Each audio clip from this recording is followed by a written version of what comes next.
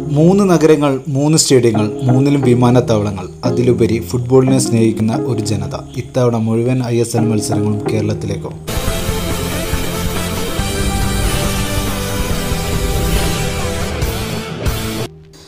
I S എല്ലിന്റെ പുതിയ season തുടങ്ങാൻ മാസങ്ങൾ മാത്രം ബാക്കി നിൽക്കെ ഐ എസ് എല്ലിന്റെ വേദിയുടെ കാര്യത്തിൽ അനിശ്ചിതത്വം തുടരുകയാണ്. രാജ്യത്ത് കൊറോണ പിടിമുറുക്കുമ്പോൾ ഹോം എവേ മത്സരങ്ങൾക്ക് പകരം ഒരൊറ്റ വേദിയിൽ മത്സരങ്ങൾ നടത്താനാണ് ഐ എസ് എല്ലിന്റെ സംഘാടക സമിതിയുടെ തീരുമാനം. ഇതിനായി കൊറോണ കുറവുള്ള സംസ്ഥാനങ്ങളുടെ പരിഗണനാ ലിസ്റ്റിൽ അവസാനമായി വന്നത് നോർത്ത് ഈസ്റ്റ് സംസ്ഥാനങ്ങളിലെ ഗുവാഹത്തിയും കൊൽക്കത്തയിലെ ഗ്രൗണ്ടുകളും ഗോവയിലെ ഫത്തോഡ സ്റ്റേഡിയവും കേരളവുമാണ്.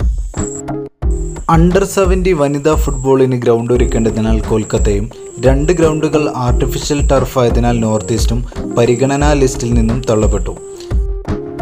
ബാക്കിയുള്ള രണ്ട് സംസ്ഥാനമായ ഗോവയ്ക്കും കേരളത്തിനുമാണ് ഐ എസ് എൽ മത്സരങ്ങൾക്ക് വേദിയൊരുക്കാൻ കൂടുതൽ സാധ്യതയുള്ളത്.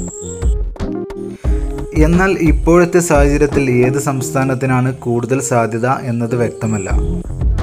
ഐ എസ് എല്ലിന്റെ വേദി ഒരുക്കുന്നതിൽ മികവ് കേരളത്തിന് തന്നെയാണ്. കാരണം ഗോവ എന്ന ചെറിയ സംസ്ഥാനത്ത് ഇത്തരം വലിയൊരു ടൂർണമെന്റ് നടത്തുക എന്നത് വലിയ വെല്ലുവിളി തന്നെയാണ്. എന്നാൽ ഗോവയിലെ ഫത്തോഡ തിലക് ബാംബലി എന്നീ ഗ്രൗണ്ടുകൾ തമ്മിലുള്ള ദൂരം മുപ്പത് കിലോമീറ്ററിൽ താഴെ മാത്രമാണ് എന്നത് ഗോവയ്ക്ക് മുൻതൂക്കം നൽകുന്നു. കൂടാതെ കേരളത്തെക്കാൾ മികച്ച ഹോട്ടൽ സൗകര്യങ്ങളും ഗോവയിലാണുള്ളത്. കേരളത്തിന്റെ പ്രതീക്ഷകൾക്ക് വിള്ളലേൽപ്പിക്കുന്നത് കേരളത്തിലെ ഫുട്ബോൾ സ്റ്റേഡിയങ്ങൾ തമ്മിലുള്ള ദൂരം തന്നെയാണ്.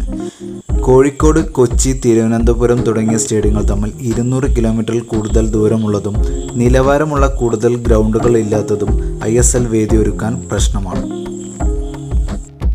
എന്തായാലും കേരളത്തെക്കാൾ ഒരു പിടി മുമ്പിൽ തന്നെയാണ് ഐ എസ് എൽ വേദി ഒരുക്കാൻ ഗോവയ്ക്കുള്ള സാധ്യത. കേരളത്തിന് ഇത്തവണ ആതിഥേയത്വം വഹിക്കാൻ കഴിയുമോ ഇല്ലയോ എന്ന് കണ്ടറിയാം. പിന്നിൽ ചരടുവലികൾ നടന്നില്ലെങ്കിൽ തീർച്ചയായും മത്സരം കേരളത്തിൽ തന്നെ നടക്കും.